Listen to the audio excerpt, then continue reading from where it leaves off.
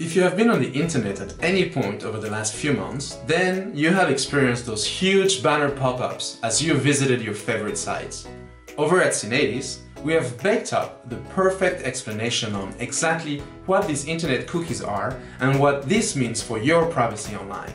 So stay tuned to find out just how the cookie crumbles in our new series called Cookie Cookie Crunch. Well, you can't eat me, so what's the point?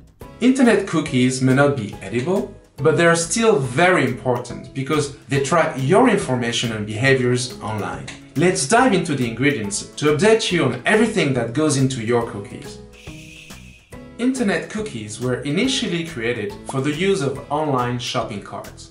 The job was to store your data with parts of their size on your computer until the next time you visited the site. When you accept a website's cookie policy, you're giving them permission to perform actions such as location tracking, storing your layout preferences, or even your browsing patterns. Many times, it is said that this is done for the sake of improving their services for you. That doesn't sound too bad. So what's the big deal? I'm getting to it. Many of these websites partner together with third-party companies to give you what they think you want. Whether that's keeping your clothes for next weekend's beach visit in your checkout cart, or remembering the time and dates you search for flights to Cabo, this is how companies decide how to market themselves to users. See, I'm harmless. You can be, but not quite. Many countries are cracking down on multiple and repeated abuses by corporations, launching investigations and passing new legislation, such as the GDPR, in order to protect the privacy and transparency rights of their citizens. Therefore, companies were required to revise their privacy policies and notify their users on exactly what information they are collecting. So now, with the permission of their users. This explains the big pop-ups begging you to accept. They ain't gonna read them. They don't care.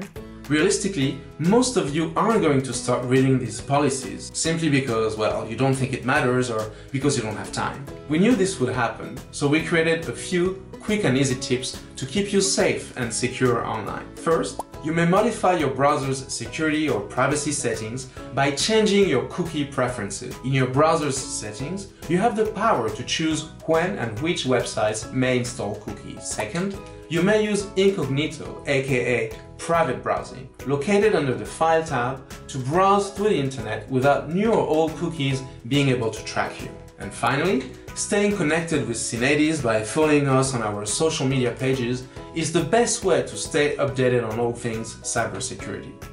Did you learn anything new today? What concerns do you have about your privacy online? If you enjoyed today's food for thought, drop some cookies in our comments. Until next time, you can find the best tips on cybersecurity and more from Syneidis on our YouTube channel. I am Frederic, thanks for watching, and remember, be safe, online and offline.